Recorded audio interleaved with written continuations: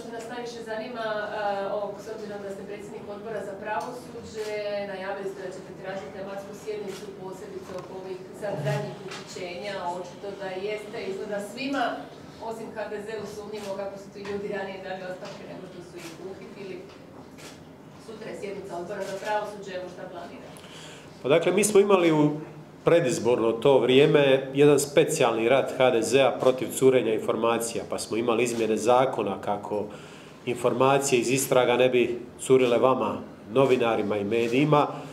Taj zakon je i kolokvijalno bio nazvan Lex AP jer su se onim porukama spominjali inicijali predsjednika vlade Andreja Plenkovića i promijenjen je zakon. Sad imamo situaciju da vrlo vjerojatno, dakle ne možemo sa 100% sigurnošću tvrditi, ali pazite, vi imate situaciju da Josip Škorić daje prije mjesec dana ostavku, da sada biva uhićen. Imamo situaciju da prošli tjedan na sjednici MIPA neki od kolega su bili na toj sjednici. Ja postavljam pitanje ovaj, zašto Šarić daje ostavku, iako se to onako ne pita, jer mogu biti nekakvi osobni razlozi, ali nisam vidio, nije mi se čovjek činio nešto bolestan i pitam zašto Šarić daje ostavku, a Ante Deur iz HDZ-a onako dosta indisponirano slježe, slježe ramenima. Činilo mi se tada da on zna o čemu se, o čemu se tu radi.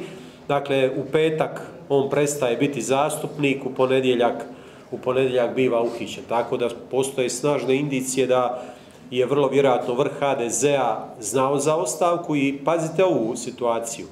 Zašto Šarić nije dao ostavku na mjesto gradonačelnika u tom trenutku?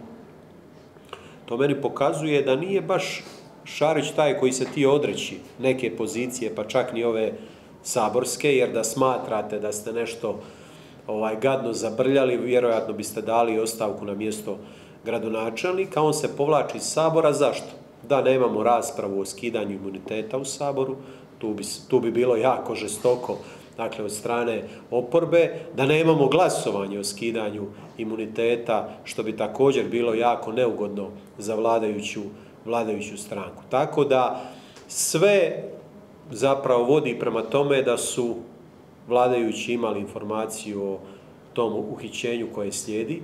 Tko je tu informaciju dojavio, je li to novi glavni državni odvjetnik, je li to neka niža razina u DORH-u, mi ne možemo znati, ali mi znamo jednu stvar koja nam može sugerirati da je promjena došla s glavnim državnim odvjetnikom.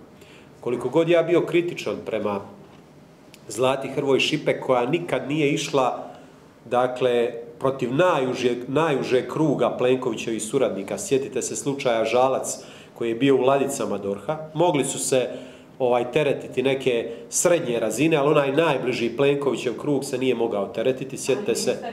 Stanit, pa to nije, ja, ja, se ne bi s vama složio da je Horvat Plenkovićev najbliži krug, on jest ministar, ali nije ni Plenkovićev izbor, on je bio i ministar u vrijeme Tomislava Karamarka, tako da nije Plenkovićev krug, nije svaki ministar u vladi, posebno prošloj, bio dio Plenkovićevog kruga.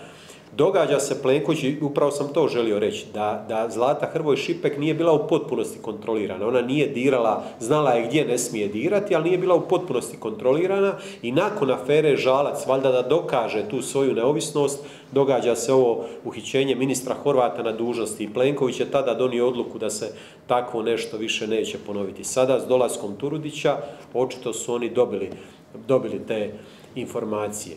Neki govore o tome da je ovo unutar stranački obračun unutar HDZ-a gdje zapravo stradavaju oni koji su bili kontra ove Anušićeve struje u HDZ-u. Dakle, i Škorić koji se dugo sukobljava s Anušićem i koji je povezan s Radićem, dakle ne Marijom Radićem, nego Radićem gradonačelnikom Osijeka, a i ovaj Šarić je dakle dio kruga kojeg su prijavljivali, znači ova struja od bivšeg ministra Banožića kojeg su prijavljivali i Dabro, koji je danas podpredsjednik vlade, ali i ova Anušićeva struja. Tako da to su sad sve nekakve moguće špekulacije o kojima mi ne znamo puno, ali je činjenica da su oni maknuti, ali da HDZ nije pretrpio veću, veću štetu. Je li plod nekakve unutar stranačke borbe, ne znam.